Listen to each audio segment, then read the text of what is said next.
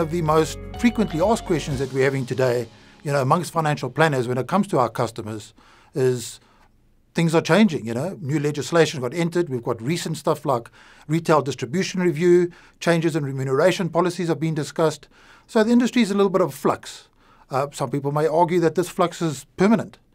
The reality is financial planners are struggling to evolve into more professional fee-based practices simply because the paradigm shift sometimes feels a little bit wide. The reality is that it's not as big as one thinks. Simple things, asking questions uh, which we asked our own customers. We said to them, if our purpose of our business is not aligned with you as the customer, then clearly you wouldn't pay for services. I mean, this was the bottom line for them. So once you've got a clearly defined uh, purpose in your in your practice, for example, our purpose is is very simple. Um, it's to create customers and to keep them. How well we do that can be measured in you know a single unit of currency, and, and it's as simple as that. So what we did is that we went to actually chat to our customers, and our customers helped us develop a value proposition. That value proposition then wasn't simply a mission statement sitting on a wall, it was something that we had to unpack and have the capability to deliver. The inability to deliver a, a value proposition obviously just renders everything you do moot. So after developing that and consulting with our own clients, and in fact, it took a couple of years. So we're not saying evolution is easy. But after and once we, we got started, we had the value proposition and we had the right technology to help us evolve our business, you know, we were pretty much able to kind of stamp out, you know, the parts of the value proposition which weren't deliverable. I think the key really was making sure that we maintain contact with our clients on a very, very regular basis. So determining a fee model, there are so many different ones out there. Look at your own market, look at your own customer base, once you've got that in play, you can then play around with the different financial models. So this is the reality.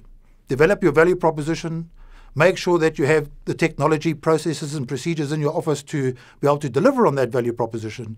And the chances are you'll very quickly evolve uh, your practice and your clients will then be convinced paying for a service is worthwhile.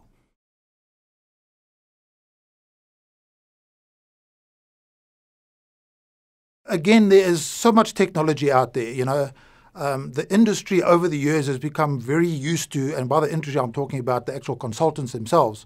We've become very used to using tools um, in our industry. You know, things like needs analysis tools, number crunching tools, and we've kind of forgotten that these are all the things we need. They're not things which customer needs. We convince ourselves that the customer does need it because, of course, um, for us to do and be professional planners and to deliver on our CFPs um, and our qualifications, you know, you have to use these tools. The reality, of course, is a little bit different when it comes to the customer. Strange enough, we asked them 10 questions and we asked them to list, sorry, we asked them one question and we asked them to list 10 items that they want of their financial planner. We asked the financial planner the same thing. Only one answer was the same. Nine out of 10 of the, of the uh, uh, responses given, um, neither the customer nor the financial advisor knew that the other required it. Having done all of that, we then set out to develop a technology that could somehow align ourselves with our customers.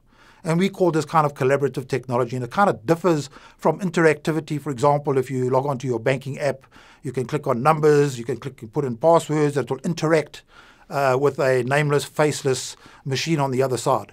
Collaborative te- uh, technology simply uses technology to kind of leverage the, the relationship. So it does exactly the opposite. It takes the customer and it takes the financial advisor and it pushes them close together, perfectly aligns them, and enables them to collaborate one on one, even though they might be using technology. So instead of replacing the relationship, it kind of builds on the relationship. So we went on a, uh, a very, very long journey and developed a technology uh, for our practice uh, to ensure that our clients uh, are the people who ensure that they contact us when they want to contact us. So instead of phoning the customer and saying happy birthday and hoping that you haven't seen him for a year, that he would speak to you, we give our clients the capability of him simply activating us when he needs us and any time of the day or not.